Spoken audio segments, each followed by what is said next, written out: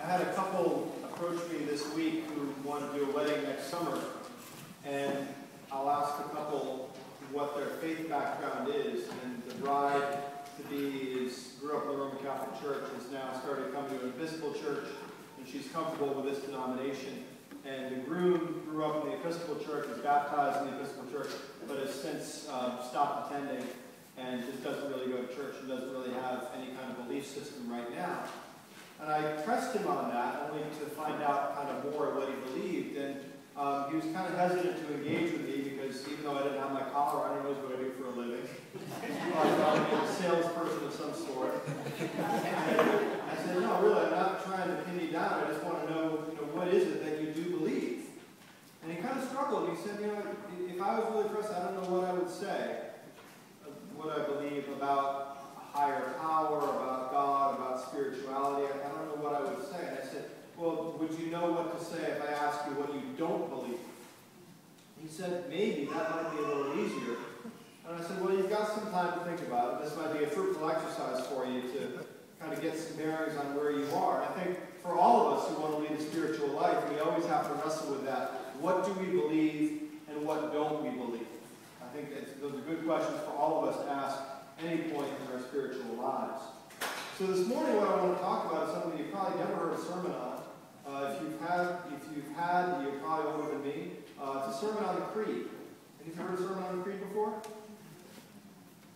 Pat has. You've been around a little bit longer than me, Pat. So you've got some bearings to, to. So listen, the, the creed is something that comes after the sermon, and oftentimes we wonder why do we say it in church? Maybe we do.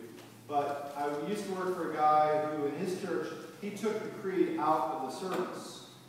And the vestry asked him during a meeting, they said, why did you take the creed out? And he said, well, really three reasons. One, we're trying to keep the service under an hour long. So we're trying to cut time, cut time where we can. Uh, he said the second part is that we have a lot of newcomers. And for newcomers to the church, if they're new to Christianity, the creed for them is a stumbling block. They don't know what it means. They don't know who these people are that the creed talks about. They don't understand why it was written and why they have to say it. And for those who are coming from different denominations, some of them are saying it with their fingers crossed behind their backs. And some of them are just kind of mouthing through it. They don't really believe it all, so they're not really sure whether they should say anything. Some of them actually will say some of it and then remain silent for other parts of it. He said, so it's a real stumbling block for people. And finally, it's the most rote part of the service. And it's the part that we know backwards and forwards. And it comes after the most creative part of the service, typically, which is a sermon. And so it really doesn't fit in the liturgy. So That's why I took it out. And the vestry said, well, maybe it's an opportunity for you to instruct the congregation on what the creed is, what it isn't, and what it means and why we say it. So briefly, I want to share with you a little bit of the history of what it is. And really what the creed is, it's a statement of belief. And it comes from the ancient rule of faith, or regula, regula fidei, which grew up in ancient Christianity. So Christ died, he left his apostles behind. You with me so far? The apostles taught things that Jesus taught. And they would be able to have firsthand experience of Jesus' teachings and what he believed. So the apostles would teach these things, and those are the core of what became the ancient rule of faith. And this rule of faith was passed down through communities, the first 200 years of Christianity. And these rules of faith would change from one community to another. So one community might believe something about God, another community might believe something a little bit different about God, but there was enough in common that they still shared a rule of faith. And as happened in Christianity, as it got bigger and bigger, the rules started getting bent more and more. Until you had communities that were really, really far away from what the original teachings were. So ultimately, the Christian church, what it had to do is it had to really coalesce its rule of faith. It had to really come together and say, these are the central core teachings. Right? And you'll notice in the creed that it says a lot of things that it doesn't make sense. You notice this? When you say the creed, some things just don't make sense. The reason that is because it had to hold a lot of different groups in tension with one another.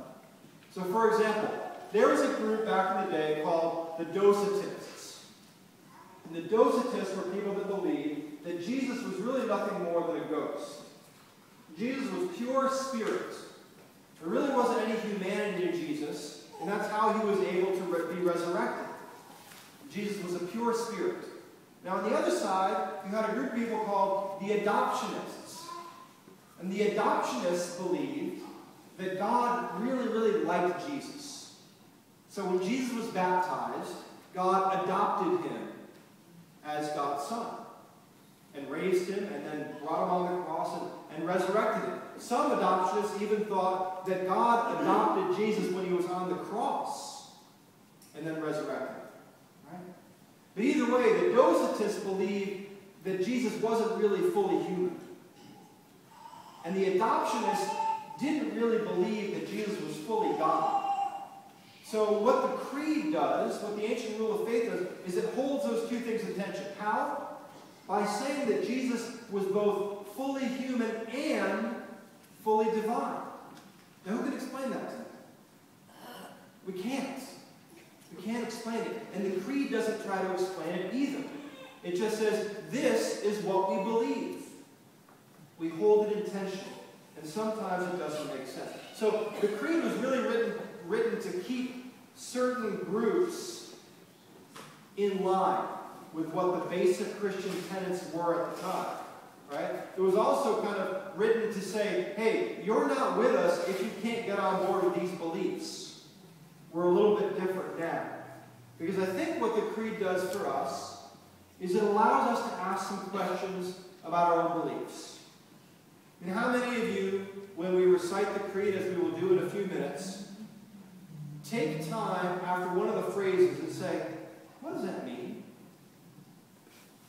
Or how many of you, when we say one of the phrases, maybe the one about the Virgin Mary, say, ah, I'm not really sure about that? How many of you, when we say a phrase in the creed, any, any phrase, say to yourself, you know, that makes me ask a question about this. And then it kind of flutters through your mind as it does mine from time to time. Well, I think the creed is more actually about the questions than the answers. If you are looking to the creed to answer lifelong questions about your faith, I'm not sure that you're going to be satisfied. But I think that if you look to the creed as a resource to ask questions from, maybe as a, a, a jumping off point, uh, you know, maybe a, a diving board, then it can be a wonderful thing. Now, C.S. Lewis talked about the creed not as a destination, but as a waypoint along the way. So all of us are walking with Jesus. All of us are walking this path, walking this spiritual life, trying to make sense of things, trying to do the right thing, right? Let that creed be almost like a GPS. Because if the creed is here, if the creed is in a certain location, a certain fixed point, think of it as a buoy in the harbor. You might be over here, or you might be over there, right? But think about it this way. Where were you 10 years ago? Where were you before you had kids? Were you over there? Were you closer? Or were you further away? Where were you when your spouse died? Were you further away? Could you, could you hear the, the bell? I think that's a really instructive point about the creed. That we can use it as a measuring stick almost to say, where am I in regards to where the church is? You know, what I say to people who cross their fingers behind their backs when they say the creed, here's what I say. I say, the creed is in plural form. It says, we believe. Because really what it says is, this is what the church holds to be true. None of you are given a quiz when you come up for communion about the creed. I'm not checking to see who is mouthing the words and who's actually saying them. And I've instructed the ushers to no longer look and see whose fingers are crossed behind their backs. That's not the point of the creed. Don't use use it as a measuring stick to say how strong my faith is, but rather to say, where are my beliefs in relation to the church? Right? And just let it be that. Because here, we, we don't check cards like that. Right?